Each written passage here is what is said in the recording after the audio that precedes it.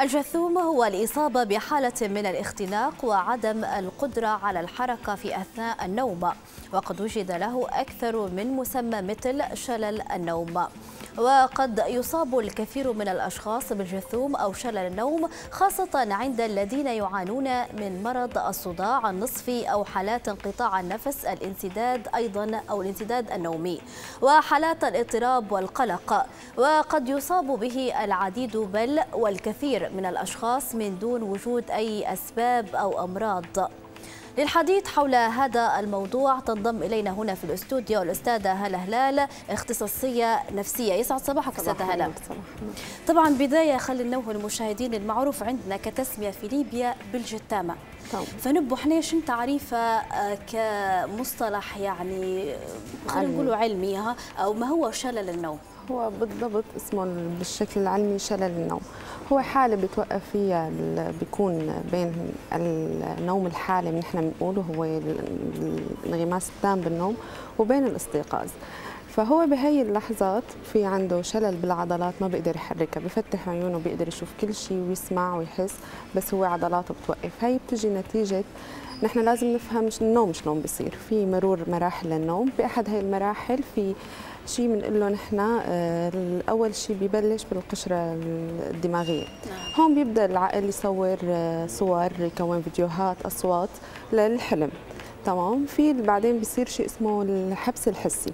نحن بهي الحالة بالنوم بصير إذا حدا بفتح لنا عيننا بهي الطريقة نحن ما بنشوف. إذا بلمسنا إذا بيحكي معنا بالعتبة العادية طبعا مو الأصوات نعم. العليا نحن ما بنسمع.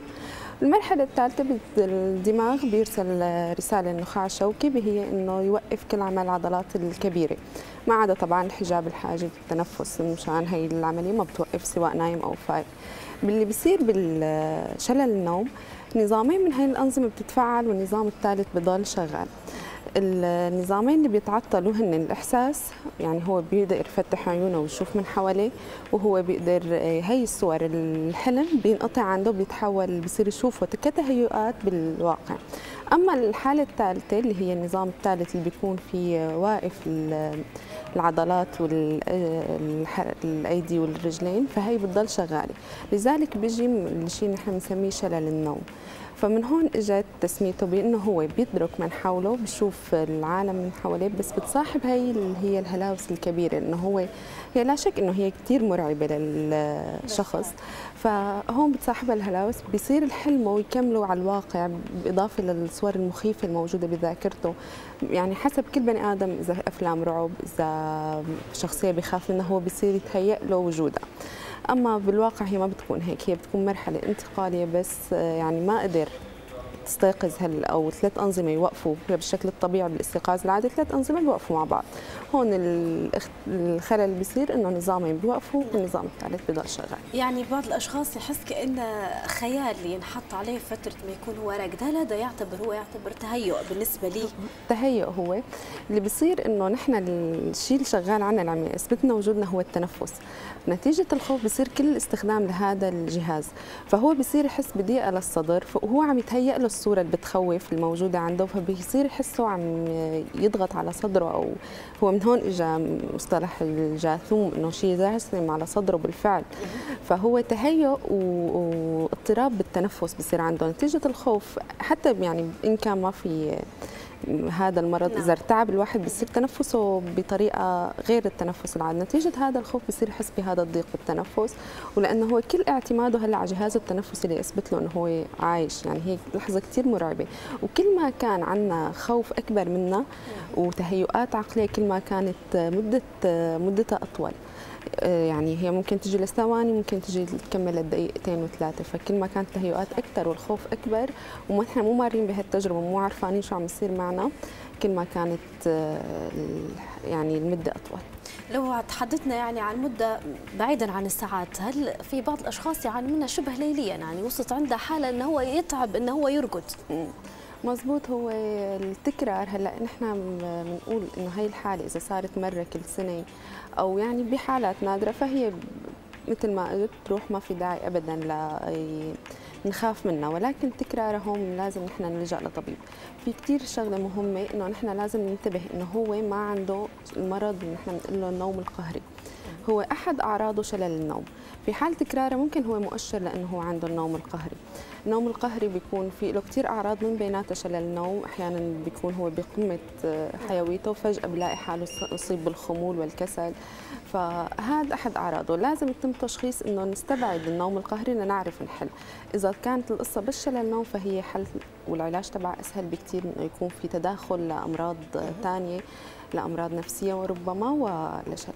الأسباب يعني اللي تؤدي لهذه الحالة ما هي؟ هو الاسباب العلمية مباشرة ما تم وضعها بشكل دقيق. ولكن الأسباب الغير مباشرة خلينا نقول أو اجتماعها كلها مع بعضها بيؤدي لشلل النوم. أول شيء هو بيكون انحرام الحاد من النوم. يوم أنا انحرم لساعات كثير طويلة من النوم هذا مؤشر لأنه أنا ممكن يكون السبب هذا الشيء عدم الانتظام بالنوم. في ناس آه، أغلب العاملين بيناموا شيفتات متقطعة مثلا فهن أكثر عرضة للإصابة بهذا الشيء الاشخاص المصابين بالاكتئاب اللي هن بيتناولوا حبوب مضادة للاكتئاب هي هي الحبوب هي مثبطة للنوم الحالم في حال توقفت بشكل مفاجئ وأنه في هون أحيانا بيكون المريض الاكتئاب بيقول إنه إذا هو وقف الدواء كل يوم فأنا خلص طبت وأنا ما عاد بدي فهو مو هيك أنت طالما أخذت الدواء لجرعات لازم ينسحب منك بجرعات.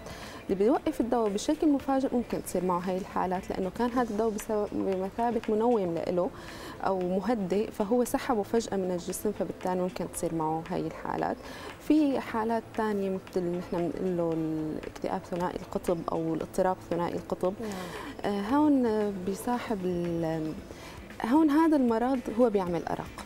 فبنرجع لنفس النتيجة الانحرام الحاد من النوم. فيوم يصير في انحرام ما في تنظيم.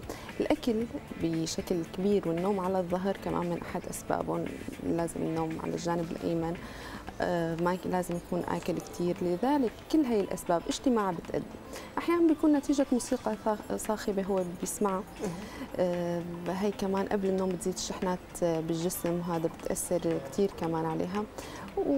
وإذا كنا مجتمعين كلهم بنفس الوقت فهون آه، حتما بده يحدث الأعراض. اعراض هو الشخص هي ما بتظهر له اعراض قبل النوم أو نعرف إنه هذا الشخص لا هو الشخص أثناء النوم بصير معه الشيء اللي ذكرناه بالتعريف إنه بفيق آه، بحس آه، ايديه مشلولين رجلين مشلولين عم تهيأ له وجود أشباح أو صور مخيفة أو حدا عم يخنقه. فهو الشخص هو اللي بيعرفها. يعني ما إنه مثل باقي الأمراض إنه نحن بنشوف أعراض عليه إنه هو بالليل. لا هو بلحظتها بس بيحدث الأعراض. يعني متى تحدث بالتحديد هل هي تكون في ساعات النوم فقط أم عادي يعني حتى سير النهار؟